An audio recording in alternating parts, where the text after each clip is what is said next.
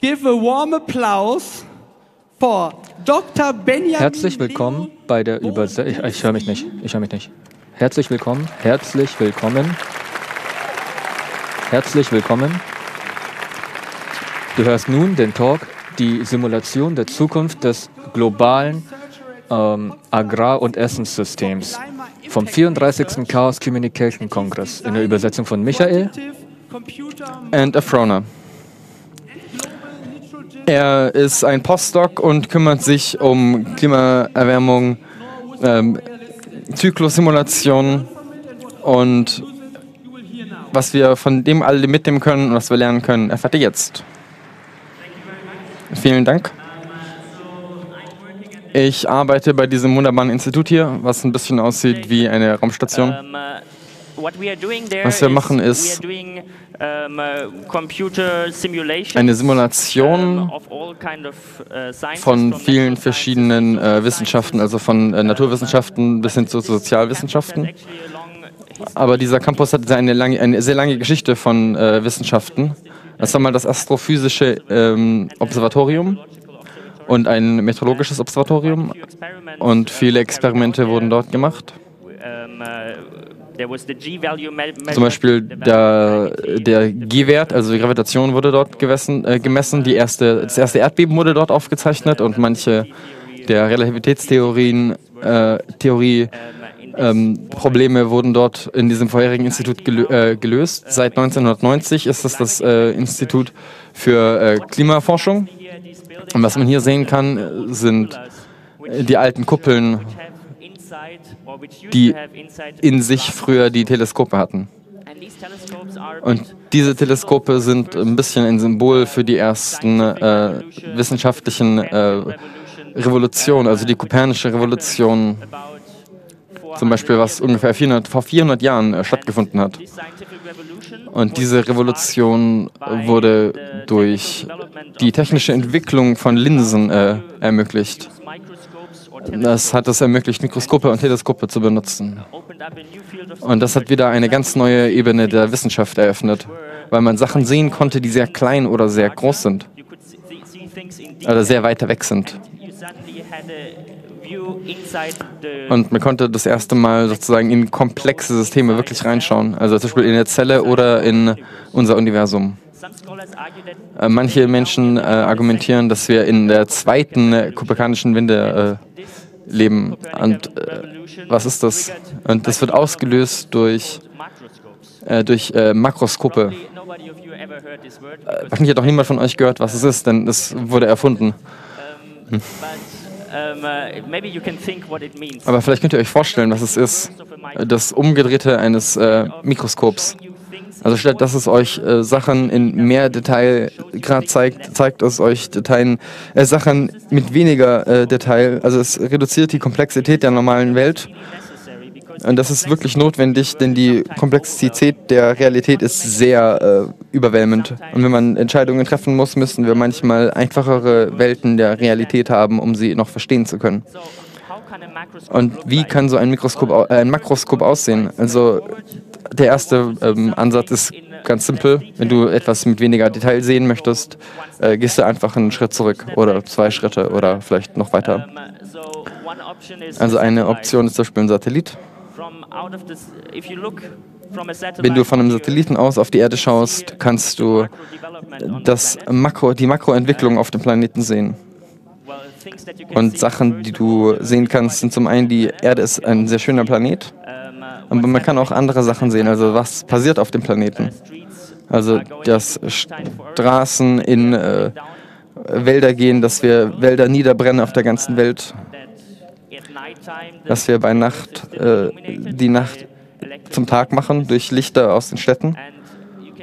Und man kann sehen, wie wir den Planeten verändern, wie wir modifizieren, wie er aussieht. Man kann eindeutig sehen, dass wir im anthroposophischen, anthroposophischen Zeitalter leben. Wenn man das äh, System der Erde in einem anderen reduzierten äh, in einer reduzierten Form sehen möchte, kann man es auch einfach alles reduzieren. Das wurde in den 1990ern durchgeführt mit den Biosphäre 2 Experimenten. Also im Prinzip ein ganzes Erdsystem in einem äh, Glashaus, was ein äh, Urwald hat, was einen, eine Wüste hat, einen Ozean hat und äh, acht Wissenschaftler, also Menschen leben darin. Man könnte es als einen äh, erfolgreichen äh, Fehlschlag sehen, denn nach sehr kurzer Zeit ist das ganze Ökosystem bereits kollabiert. Die Fische im Meer sind gestorben. Das äh, System wurde von Ameisen und äh, Schaben überrannt. Die CO2-Level sind äh, gigantisch äh, gestiegen und die Wissenschaftler, die da drin im Prinzip eingeschlossen waren, wurden ziemlich hungrig und am Ende des Experiments mussten sie tatsächlich Essen von draußen reinliefern. Also es ist nicht so einfach, so ein er Erdensystem zu simulieren und wir können eigentlich äh, froh sein, dass wir in einem so stabilen, wie wir es aktuell haben, leben. Und die äh, dritte Möglichkeit, sowas zu machen, ist ähm,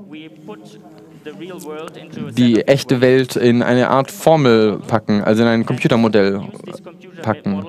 Und dann können wir mit diesem äh, Modell das Erdensystem simulieren. Also es hat einen eindeutigen Vorteil, es ist sehr günstig, also man kann es oft ausführen. Du kannst sozusagen mehrere Durchläufe machen, also tausende Simulationen laufen lassen.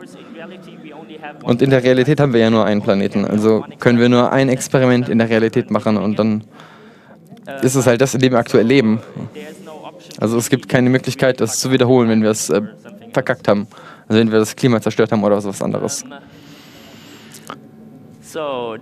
Das hier ist das erste Computermodell oder das erste weit äh, bekannte Computermodell. Das ist das äh, Welt 3 Modell von 1972. Äh, das kennt man äh, vielleicht von dem Report äh, Das Limit des Wachstums aus dem Club of Rome.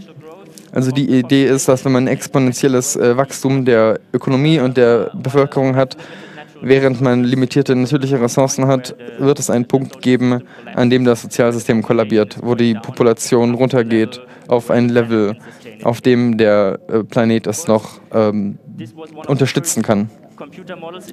Also natürlich war das eines der ersten Modelle, es war sehr einfach und es war sehr stark kritisiert, weil es äh, übersimplifiziert war und glücklicherweise sind diese ähm, äh, Projektionen nicht wahr geworden, oder Prognosen. Aber es zeigt uns schon, dass es durch das Auslösen einer großen Debatte äh, sehr nützlich war, äh, so ein Computermodell zu haben. Denn auf einmal haben wir weite Zeiträume betrachtet in die Zukunft hinein. Und natürlich haben wir nicht damit aufgehört mit diesem einen Computermodell, sondern wir haben sie immer weiterentwickelt. Also das hier war 1972 äh, vor 45 Jahren. Äh, 35 Jahren. Und seitdem sind natürlich Computer deutlich leistungsstärker geworden. Und ein bisschen langsamerer, äh, ja, langsamere Entwicklung in der Wissenschaftsentwicklung äh, ist passiert und wir sind noch immer in der an dem Problem, gute äh, Simulationen zu erstellen. Aber sie sind natürlich immer falsch oder nicht optimal, weil sie immer Sachen auslassen, weil sie äh, simplifiziert sind. Aber sie sind gut für uns, weil sie uns helfen, Entscheidungen zu treffen.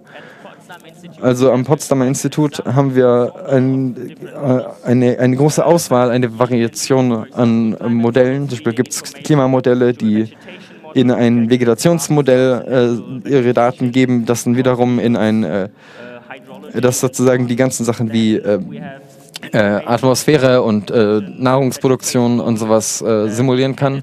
Und Informationen daraus werden dann zum Beispiel in ein Landnutzungs- und Agrokulturmodell überführt werden. Und dann haben wir wieder ein makroökonomisch, makroökonomisches Modell, welches dann zum Beispiel auch die Energie betrachtet, was die Entwicklung der Industrie, des Servicesektors, des Energiesektors und natürlich auch des äh, äh, CO2-Sektors äh, zeigt oder simuliert. Ich möchte mich auf MacPy äh, beziehen dieses Mal in diesem Talk. Das ist das Modell, das... Ähm das MacPy-Modell wurde entwickelt von einer großen Gruppe von ungefähr 14, 15 Leuten und äh, von verschiedenen ähm, Hintergründen mit verschiedenen Fertigkeiten. Wir haben äh, Physiker, Wir haben äh, Wirtschaftswissenschaftler, Biologen, äh, Geologen und so weiter. Und die äh, einfache Frage, die wir äh, beantworten wollen, ist, wie wird das äh, globale Essenssystem, Agrarsystem im Jahr 2015 und in der, danach aussehen? Wieso ist das wichtig? Naja, für dich persönlich wird wahrscheinlich ähm, die Landwirtschaft nicht so persönlich wichtig sein, aber für alle, die ähm, an, in der Natur arbeiten, ist das unglaublich wichtig für uns. Ja, wenn man sich anguckt, 30 Prozent äh, des Landes ist, Agro, äh, ist Agrarkultur. Wenn man sich zum Beispiel anguckt, äh, die Treibhausgase, 25 Prozent der CO2 kommt durch die Landwirtschaft und es ist also sehr wichtig, die Landwirtschaft ist sehr wichtig. Wenn man sich das Wasser anguckt, 70 Prozent des menschlichen Wasserverbrauchs wird für die Bewässerung von Feldern benutzt. Es ist, geht um Biodiversität. Also zusammengefasst, äh, Landwirtschaft ist ein, ein wichtiger Treiber ähm, für ähm, den Verbrauch auf der Erde. Wir ähm, verändern zum Beispiel auch sehr stark die äh, Stickstoffwerte in unserer Atmosphäre und es gibt natürlich auch noch ein etwas anderes. Aquakultur ist auch sehr wichtig für uns Menschen, denn wir können ohne Strom leben, aber nicht ohne Essen. Und wenn man auf die 19 global führenden Risikofaktoren äh, schaut für äh, das Sterben von Menschen, Elf von denen sind verbunden irgendwie mit Ernährung. Also entweder essen wir zu viel, was rot ist, oder zu wenig, das ist grün. Also sowas wie äh, Vitaminmangel oder andere Sachen, äh, die man in Mangelerscheinungen hat. Oder zu wenig äh, Brustmilch äh, äh, für Kinder. Aber auch so Sachen wie äh, hoher Blutdruck, Diabetes, Übergewicht auf diesen Top sind keine Konflikte, keine äh, Morde oder sowas. Es sind meistens immer nur chronische Erkrankungen und die meisten davon, die wir haben, sind mit unserer täglichen Ernährung verbunden. Ähm, wie sieht so ein Modell aus? Also im Prinzip haben wir äh, die Bedürfnisse, also was essen Leute tatsächlich oder was brauchen sie als Essen, um ihren Körper äh, benutzen zu können, also um ihren Körper am Leben zu erhalten. Das hängt natürlich darauf, äh, davon ab, wie die Population zusammengesetzt ist und wie groß sie ist und was die Leute einzeln essen. Momentan sind wir bereits bei einer Bevölkerung von 7,6 äh, Billionen. Äh, wir werden aber noch mehr. Wir werden wahrscheinlich 8,5 bis 10 Millionen Menschen bei 2050 sein. Also dann müssen wir nochmal ein bisschen Defragmentierung hier betreiben. Und vielleicht später äh, könnte es weniger werden oder weiter äh, werden, also mehr werden. Aber das hängt viel von, äh, in, von, von Familienplanung und äh, Bildung ab. Und zur gleichen Zeit, was Leute brauchen, um ihren Körper am Leben zu halten pro Person, ist es ist eigentlich immer dasselbe. Es gibt da Unterschiede, äh, Unterschiede abhängig von der Demografie. Menschen in Afrika haben zum Beispiel ein weniger großes Bedürfnis, weil da halt viele Kinder sind.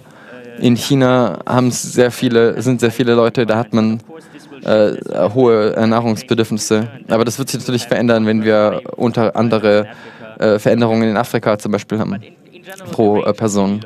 Aber in der Realität ist das eine relativ äh, nahe Menge, was man braucht. Also so circa 2000 bis 2400 Kalorien pro Person. Aber das ist natürlich nur das, was die Leute benötigen. Aber das, was sie tatsächlich essen, ist eigentlich viel mehr. Also zum Beispiel in Deutschland haben wir 3500 Kalorien. In China, in Indien ist es zum Beispiel eher bei den äh, Bedürfnissen bei 2500. Aber es gibt auch eine Menge Überkonsum. Also die ähm, Ernährung ist aber auch sehr unterschiedlich. In Deutschland essen wir zum Beispiel sehr viel Fleisch, was die Leute in Nigerien oder in Indien zum Beispiel nicht so tun. Und wir essen tatsächlich nicht so viel Gemüse und Früchte, was für uns wirklich eine Schande ist. Aber ihr könnt hier sehen, wir, wir konsumieren ungefähr ein Drittel mehr, als wir brauchen. Und das ist der Grund dafür im Prinzip dass wir Müll, also das ist ziemlich großer Teil unseres Essensmülls ist, ungefähr 30 Prozent des, des Essens in Haushalten ist Müll. Das schmeißen die Leute weg, wird verschwendet, weil Leute sich halt nicht so sehr dafür interessieren.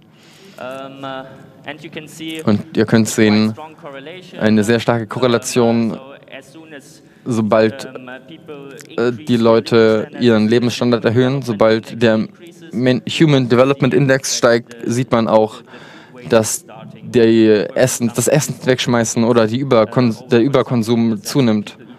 Das äh, also auch in der einfach in dem von dem, was die Leute essen, das nimmt zwar auch zu, aber das Größte ist tatsächlich einfach wegschmeißen. Und dasselbe kann man aber auch sehen für äh, das, den äh, pro Person äh, Livestock, also, also ähm, die Tierhaltung. Also man kann sehen, dass die Tierhaltung deutlich äh, korreliert mit dem Einkommen. Also man kann das hier in diesem äh, Plot sehen in den letzten 50 Jahren. Und man kann sehen, dass Länder, die ihre Fleischkonsum, also die ihren, das Länder ihren Fleischkonsum deutlich erhöht haben, wenn sie von Medium, von, von niedrigen zu hohen oder zu, Medium, zu mittleren Einkommen kommen und wenn sie von mittleren zu hohen kommen, nimmt es wieder ein bisschen ab. Aber auch so Sachen wie Zucker- und Ölkonsum nimmt zu. Unglücklicherweise sieht man das nicht für Obst und Gemüse, was gesund wäre, aber das äh, ist halt so. Ähm, und dann ist natürlich es auch so, dass die Essensverbrauch ähm, äh, bereitgestellt werden muss. Ähm, es muss gehandelt werden mit Essen.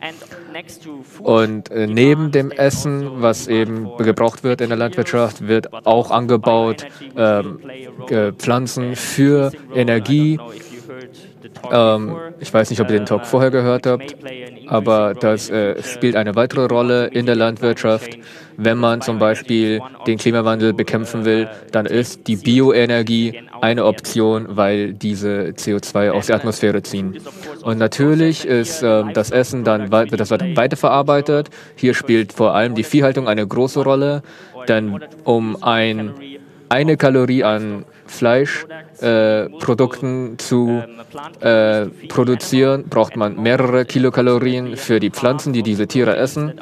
Die Hälfte aller Proteine, die weltweit äh, produziert werden, ähm, ist, ist, das Fett von ähm, Tieren. Und weiterhin wird eine noch größere Menge äh, von Gräsern äh, von äh, Tieren gegessen. Und ganz am Ende hat man Getreide und das Getreide steht auf Land und hier sieht man äh, die Dynamiken von dem Landverbrauch und zukünftige Szenarien, wie äh, Acker in der Zukunft sich entwickeln könnten, vor allem in den tropischen Regionen, da ja da auch vor allem die Bevölkerung, das Bevölkerungswachstum am größten ist. Und neben dem Benutzen von Land. Auf der einen Seite hat man natürlich äh, den Anbau. Der größte Anstieg kommt durch die Intensivierung von den bestehenden Äckern. Und hier sieht man, ähm, wie viel man ernten muss in der Zukunft, um, das, um den, ähm, um die Frage zu füllen. Natürlich gibt es auch noch äh, Verbindungen mit dem biochemischen äh, Zyklus, also wie zum Beispiel wir den Carbon- oder den äh, Nitratzyklus verändern oder die äh, wie, wie die, die Wasserknappheit sich verändert. Also zum Beispiel die Wasserknappheit in 2010 und 2015. Also nicht unbedingt die Wasserknappheit, aber eher die, wie viel Wasser benutzt wird von dem, was verfügbar ist. Und der Stickstoffzyklus, der drittwichtigste biochemische Zyklus der Welt, hat sich extrem bei der modernen Aquakultur verändert. Wir sind ungefähr beim fünffachen, äh, bei der fünffachen Menge von dem, was wir vor der Industrialisierung hatten. Und dann äh, am Ende haben wir halt äh, ja, Emissionen. Wenn wir uns ein Szenario überlegen, wo wir nichts machen, simulieren wir, dass die, dass die Emissionen weiter wachsen, um aber tatsächlich unter dem 2-Grad-Ziel zu sein, müssten wir den äh, Agrarsektor äh, reduzieren. Also das müssten wir entweder durch äh, das Pflanzen von Bäumen oder von äh, Biomasse an sich oder durch das Ansammeln von Carbon in äh, Böden ähm, erreichen. Und das ist das ganze integrierte Modell. Und das Wunderbare daran ist, es ist ein Optimisierungsmodell, wo alles, das alles, alles influ äh, also betrifft, verändert. Also es wird die ganze ähm, Kette verändern, wenn man irgendwo etwas verändert. Also zum Beispiel äh, das Nutzungsbedürfnis. Äh, äh, man kann auch immer die Interaktion sehen, zum Beispiel zwischen dem Natrium und dem Wasserzyklus. Oder man kann zum Beispiel auch gut sehen, äh, also die, die Vor- und Nachteile, die äh, äh, existieren in unserem System. Also wenn du zum Beispiel nur eine Sache verändern oder optimieren möchtest, ist es ziemlich einfach möglich, aber wenn du verschiedene Faktoren hast, also mehrere Ziele, die du erreichen willst, also wenn du genügend Essen für alle bereitstellen möchtest, musst du natürlich auch deine Foodproduktion erhöhen, aber dann hast du den äh, Einfluss auf äh, die Umgebung wieder. Aber wenn du jetzt äh, die CO2-Gasausstöße ähm, reduzieren möchtest, verbrauchst du also Bioenergie, was wiederum einen Einfluss auf äh, die Essenspreise, die Essens, äh, den Essenskonsum und auf die, äh, auf, auf die äh, Ökosphäre hat. Das ist ein komplexes Problem, also wirklich ein komplexes Problem, aber es ist möglich sowas äh, zu transferieren, also unser, unsere, unsere Gesellschaft zu verändern, um all diese Faktoren zur selben Zeit zu erreichen. Aber was sehr wichtig ist, ist äh, die äh, Konsumseite. Also wir müssen wirklich äh, reduzieren, wie viel Essen weggeschmissen wird und wie viele Tiere gegessen werden, also bei einer wirklich großen Menge.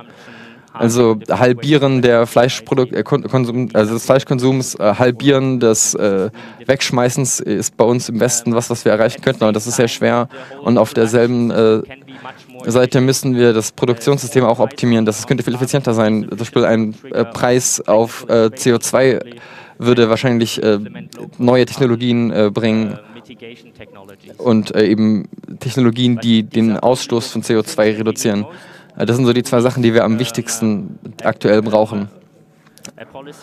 Ein, ein Gesetz, eine Regelung, die äh, Preise auf das Produzieren von CO2 äh, und das Verbrauchen von Wasser und Verschmutzen von Wasser beziehen.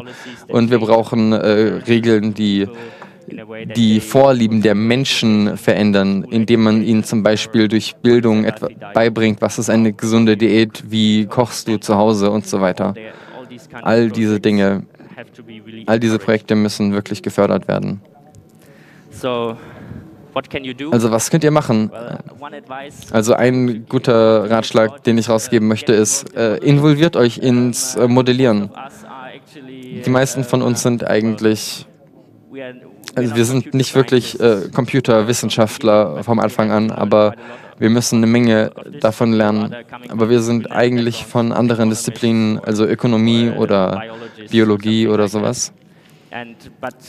Aber die meisten von unseren, äh, unserer Zeit sind, ist tatsächlich Softwareentwicklung. Es ist nicht so, dass wir keine Softwareentwickler brauchen. Es ist eher so, dass sehr wenige Leute sich nur wirklich bei uns bewerben. Also einfach mal die Standards der Softwareentwicklung in diesem Feld einbringen, wäre eine wirklich gute Sache. Und das Zweite ist, es gibt wirklich eine Menge Daten, die verfügbar sind in der Öffentlichkeit. Und auch, das sind auch gute Signale, die in die Gesellschaft gebracht werden könnten durch gute Visualisierungstechnik oder vielleicht auch künstlerische Projekte oder sowas. Ich möchte euch zum Beispiel ein Beispiel geben, bevor ich äh, zu den QAs komme. Im letzten Jahr hatten wir hier einen Workshop mit äh, Art, äh, Kunststudenten, die interaktive Installationen mit unseren Daten erschaffen haben. Hier ist zum Beispiel eine, ähm, eine auditive Installation, wo die Leute zum Beispiel die Geräusche von verschiedenen Szenarien abhängig hören konnten. Also zum Beispiel ein Szenario, wo alle Bäume niedergebrannt ähm, werden, dann hast du zum Beispiel eher äh, Aquakultur-Geräusche äh, oder urbane Geräusche in anderen Bereichen oder vielleicht noch eins, weil wir haben nicht so viel Zeit. Das ist ein, ein Kunstprojekt von einem Student aus Bangladesch. Und sie hat eine Klimabox äh, erschaffen. Man kann die, äh, diese Box äh, betreten, eine Münze reinwerfen und mit Hilfe eines Arduinos fängt dann alles an, da drin sich zu bewegen und äh, man bekommt die Geschichte des Klimawandels erzählt. Und zur selben Zeit verändert sich aber auch das Wetter in der Klimabox. Also auf einmal wird es wärmer und da ist ein äh, Gebläse, das warme Luft reinbläst und auf einmal wird es anfangen zu regnen und da sind äh, Blitzlichter.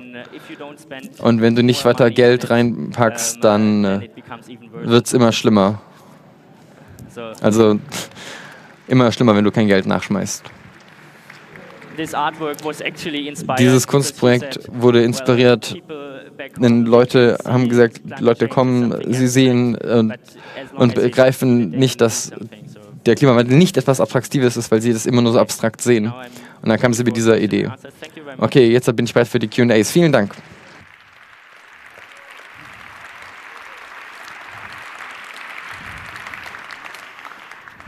Okay.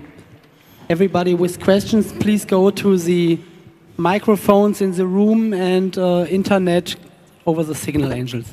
So, microphone one, please.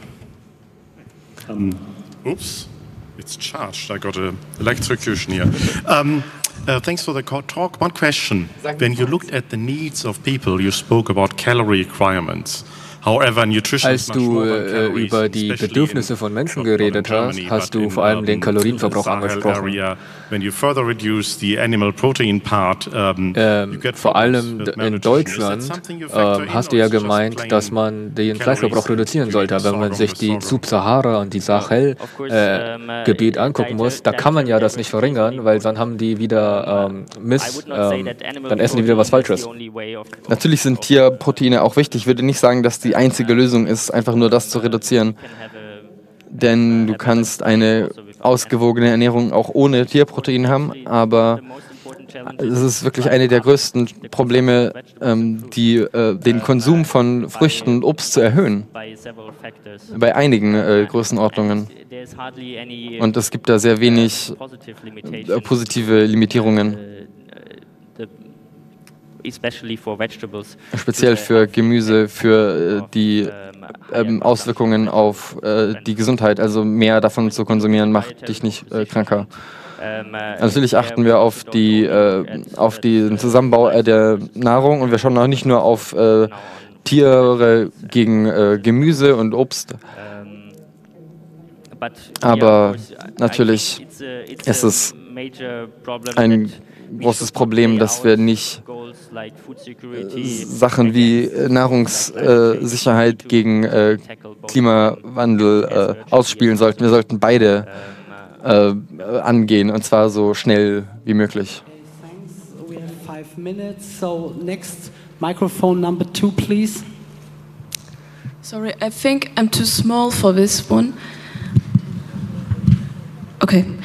Um, so okay, auf Mikrofon 2 uh, habe ich zwei Fragen. Ähm, du hast von Trade-offs geredet. Was denkst du ist die beste Lösung, um einen guten Trade-off zwischen Biodiversität und ähm, der Land Rückgewinnung für Biodiversität zu gewinnen. Und die zweite Frage ist,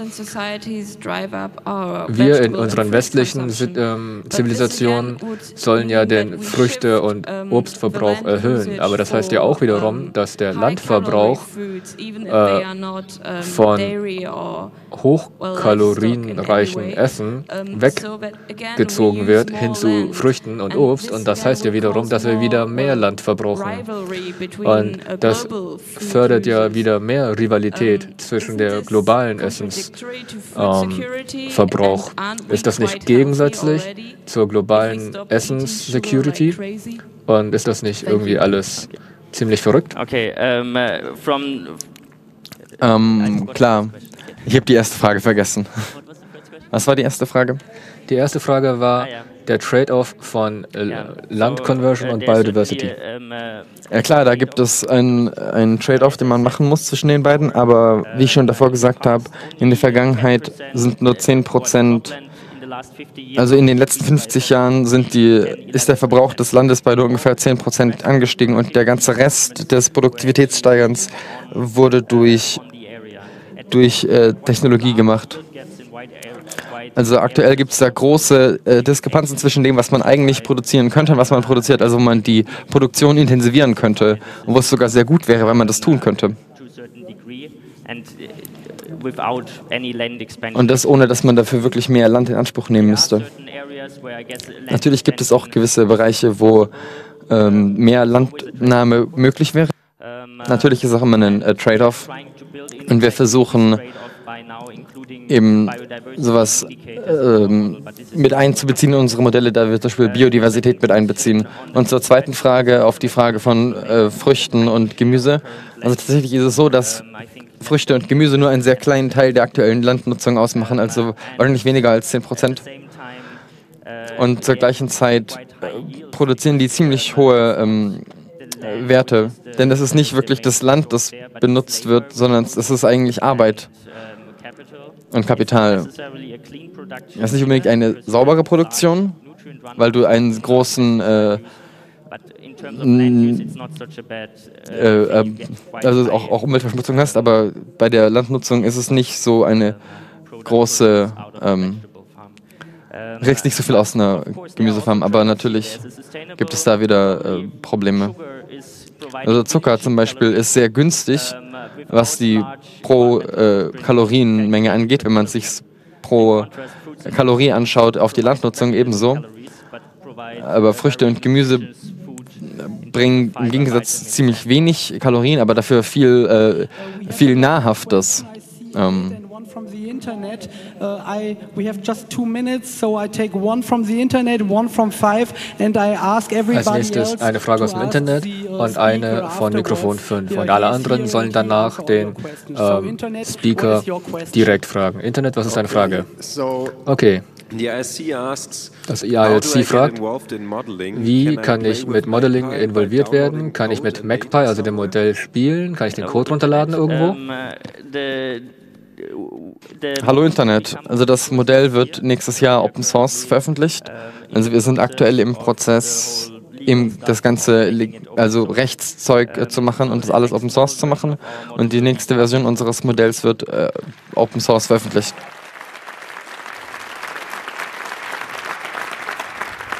Mikrofon 5, please. Mikrofon 5, bitte. Hallo, danke für den guten Talk. Also Letztes Jahr war bereits ein Talk bezüglich äh, Innovation äh, von Pflanzen. Meine Frage hat zwei Dimensionen. Erstens, welche technologischen Inventionen äh, implementierst du in deinem Modell, das zu einer mehr pflanzenreicheren Diät führen würde? Und zweitens, äh, was glaubst du persönlich, wie, dein, wie das Modell verlaufen wird und was für einen Einfluss das haben wird auf die Zukunft? Also du sprichst jetzt halt über äh, pflanzenbasierte äh, Ersatzprodukte für Fleisch. Ja, tatsächlich haben wir darüber eine Studie veröffentlicht dieses Jahr auf äh, ein, ein, von einem ziemlich krassen äh, Beispiel, also über äh, landfreie Produktion. Also man kann sozusagen Mikroben aufgrund von äh, Dünger herstellen. Das ist äh, eine Idee von äh, Weltraumnahrung, wurde von den Russen entwickelt und mittlerweile wird es aber auch kommerziell, äh, also äh, günstiger. Ich vermute, dass es auf jeden Fall passieren wird für manche Bereiche, also für manche Proteinnahrung. also zum Beispiel wird es, äh, wird die Sojabohne oder also zum Beispiel wird, wird das Soja- oder Fischfutter an Tiere verfüttern, dadurch äh, ausgetauscht werden. Aber über den tatsächlichen Nährwert des Ganzen weiß ich nicht so viel. Ich bin ein bisschen skeptisch, wie äh, positiv ich das einschätzen soll, aber ich würde es ziemlich realistisch einschätzen. Auch dieses ganze Fleischersatzprodukte auf Grundlage von Pflanzennahrung glaube ich, dass es günstiger werden wird und dann wird es einen, ähm, einen Punkt geben, an dem einfach nur aus ökonomischen Gründen die Leute anfangen werden, ihren Fleischverbrauch zu reduzieren. Ein Fleischburger zum Beispiel wird zur Hälfte dann aus echtem und zur Hälfte aus äh, falschem Fleisch bestehen, weil es günstiger ist.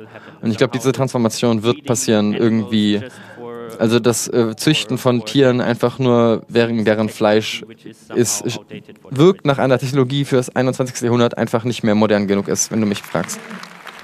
Then give more than a big applause. Bitte nochmal einen großen Applaus für Dr. Daniel Benjamin Leon Podieski. Podewski.